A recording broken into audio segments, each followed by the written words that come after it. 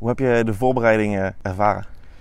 Als fijn omdat je weer bezig bent. Het was natuurlijk wel zo dat we, doordat we wat minder spelers hadden, een andere voorbereiding hebben gedraaid, hebben gedraaid dan bijvoorbeeld vorig jaar.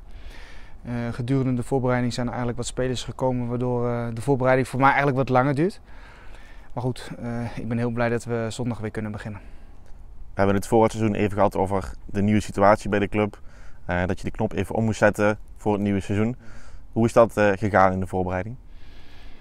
Goed. er zijn natuurlijk wel momenten dat je nog even terugdenkt aan vorig jaar, maar ik denk dat dat heel snel anders is geweest. Um, ook in deze voorbereiding zijn er nog wat mutaties geweest. Hè. Eddie van der Gouw is weggegaan, Jan de Boer is daarvoor teruggekomen. Roel Jansen en Moreno Rutte zijn eerst uh, op een soort stage geweest. Hè. Kijken voor hun, kijken voor ons. En daarna hebben ze gelukkig vast kunnen leggen. Dus het was een beetje schuiven af en toe. Daarbij hebben we gebruik gemaakt van heel veel jonge jongens. Dat was ook ehm, leuk om te zien en ook heel leerzaam voor ons. Maar ook goed voor mij als trainer om een, om een, goed, beeld, om een goed beeld te krijgen van de jonkies.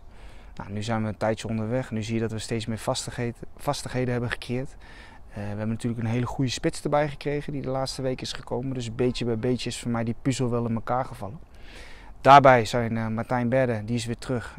Check is op de weg terug. Uh, Tijmen Verheijen is op de weg terug. Robert Klaassen die heeft een kleine uh, gekregen, dus dat kan wat langer duren. Maar zo zie je dat we beetje bij beetje op oorlogsterkte komen. Je hebt in de voorbereiding best wat wedstrijden gespeeld. Hoe blik je daarop terug? Met een goed gevoel, omdat we niet vanwege de uitslagen, maar wel vanwege de, de, de kracht van de tegenstander. En dat we de dingen die we hebben getraind, de dingen die we hebben besproken, dat we die op de hoogste intensiteit hebben moeten doen.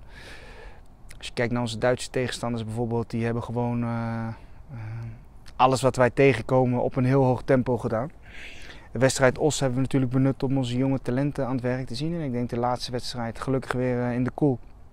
Voor onze eigen supporters um, hebben we bij Vlagen hartstikke leuke dingen gedaan uh, tegen Fortuna. We hebben ook gezien dat er nog één tandje op moet om, om echt top te zijn. Um, maar ja, de wedstrijden zijn voor mij gewoon uh, heel waardevol geweest. Heb je dan ook een goed beeld van waar jullie nu staan als groep? Niet helemaal, omdat de laatste wedstrijd tegen Fortuna uh, hebben we gespeeld met een redelijk vaste kern. Alleen ja, je weet niet wat er gaat veranderen voor zondag. Uh, Moreno Rutte is daar vast bijgekomen nu. Dus dat wordt ook weer een optie. Dus eigenlijk de eerste keer in een bepaalde samenstelling uh, zal aankomende zondag kunnen zijn. Je noemt al inderdaad een aantal nieuwe spelers die zijn gekomen. Wat is je indruk van die nieuwe gasten? Goede indruk. Uh, Roel Jansen, heel veel ervaring, vult die plek links, centraal heel goed in. Moreno Rutte is multifunctioneel, kan op de backpositie spelen, kan op het middenveld spelen. Uh, onze Griekse spits, Michaelis Kossidis, uh, maakt een uitstekende indruk op mij en op het team. En is eigenlijk wel uh, de kapstok die we denken nodig te hebben. Alleen goed, het gaat over één wedstrijd. Laten we hopen dat het voor een langere periode zo, uh, zo gaat. maar hopelijk houdt hij dit vol. Sierra geeft ons extra creativiteit is heel vaardig met de bal, is heel snel met de bal en kan openingen en um, overtallen creëren. Dus daar zijn we gewoon super blij mee. Nou ja, en de rest die er al waren, die moeten weer een stapje extra maken om, uh, in ontwikkeling om, uh, om uiteindelijk uh, naar hun top te gaan. Je hebt met Roel Jans en Mariano Rutte ook wat ervaring erbij weer.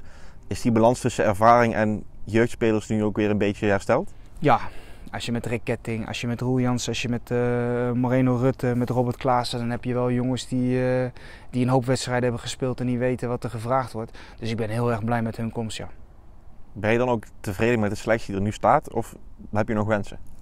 De trainer heeft altijd wensen en de trainer is uh, samen met Mark van Nittem heel druk om, om te blijven versterken. Ehm, maar goed, dat moeten we de komende weken afwachten. Is dat lastig gezien de financiële situatie die iets minder rooskleurig is om dan de juiste versterkingen te vinden? Het is nu niet meer lastig omdat ik weet uh, dat dit zou gaan gebeuren. Daar was ik ook op voorbereid. Uh, er komen heel veel spelers op de markt, dus we moeten heel gericht kijken um, wie we willen, maar ook wat er mogelijk is. Hè, want dat is natuurlijk uh, op dit moment ook een uitdaging. We kennen allemaal de financiële situatie van de club. Dus Mark en ik gaan goed, uh, ja, goed, goed kijken en goed overleggen samen met de staf uh, wat we nodig hebben voor de start van de voorbereiding was het eh, moeilijk om een doelstelling uit te spreken. Ik kan me voorstellen dat dat nog steeds het geval is. Hè? De vraag uh, stellen is hem eigenlijk ook beantwoorden. In dit geval. Want met wat voor gevoel ga je dan nu starten aan de competitie? Ik ga met een goed gevoel starten, want ik ben heel blij dat we weer gaan beginnen. Ik ben blij dat we weer in onze eigen stadion met onze eigen supporters kunnen spelen. En uh, het gevoel in de voorbereiding voor mij als ik in Venlo ben, is dat het leeft. En dat iedereen dat vervelende nieuws wel een beetje naast zich heeft neergelegd om uiteindelijk weer vooruit te blikken. Ehm, we hebben nog geen doelstelling uitgesproken, omdat we nog niet weten hoe de selectie er op 31 augustus uitziet. Maar we zijn ambitieus. Dan gaan we beginnen thuis tegen NVV. Direct een mooie, een mooie kraker. Wat verwacht je van zondag? Ik verwacht een hele mooie wedstrijd. Ehm, je weet dat, uh, dat MVV op een avontuurlijke manier speelt. Hè? Uh, zo het vorig jaar heel, heel goed heeft gedaan. Je weet ook dat ze een aantal jongens kwijt zijn. Je weet dat wij een aantal jongens kwijt zijn. Maar je weet ook, en iedereen heeft ook kunnen zien dat we heel veel nadruk hebben gelegd op het voetballende gedeelte in de ploeg. En dat dat een stuk beter uitziet. Twee ploegen die willen aanvallen, dus dat belooft spektakel. Wat wil je nou heel graag zien van je eigen ploeg? Drie punten. Dat is het enige wat telt. Nee, ik uh, wil drie punten, maar ik, ik hoop uh, dat het publiek vermaakt wordt. Zoals het in de vorige editie van in de koel van VVV en MVV ook was. Dat er goed voetbal wordt gespeeld. dat het elftal strijdbaar is. Dat het elftal nog steeds een elftal is als er iets gebeurt tijdens de wedstrijd waar we, um, waar we geen invloed op hebben of, of iets is wat we niet willen.